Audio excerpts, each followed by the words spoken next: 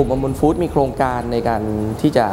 ก่อสร้างอำพลฟูดส์ Innovation Center นะครับเพื่อเป็นศูนย์วิจัย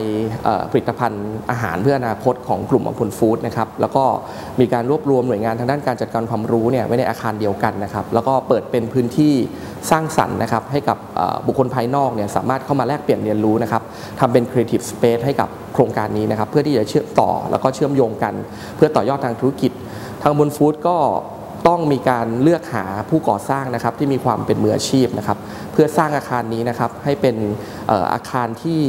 เป็นสัญลักษณ์นะครับของอำพลฟูดส์นะครับเพื่อที่จะก้าวไปในแง่ของการทำธุรกิจในวันหน้านะครับ ซึ่งอำพลฟูดส์ได้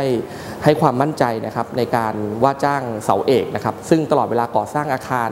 อำพลฟูดส์ Innovation Center นะครับขนาด 5,000 ตารางเมตรนะครับทางเสาเอกก็มีมาตรฐานในการก่อสร้างนะครับแล้วก็มีความเป็นมืออาชีพนะครับที่สำคัญเสาเอกเออทำงานกับอมนฟู้ดในลักษณะของพันธมิตรนะครับให้คำแนะนำต่างๆ มากมายนะครับเพื่อก่อสร้างอาคารออกมาให้ได้ดีที่สุดนะครับ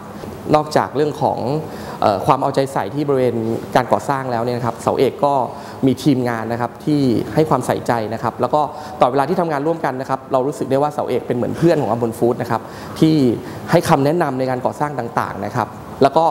อมนฟู้ดค่อนข้างมั่นใจนะครับว่าอาคารอมนฟู้ดในหลังต่อๆไปนะครับก็คงจะเป็นเสาเอกนี่แหละที่จะสร้างให้กับเรานะครับขอบคุณครับ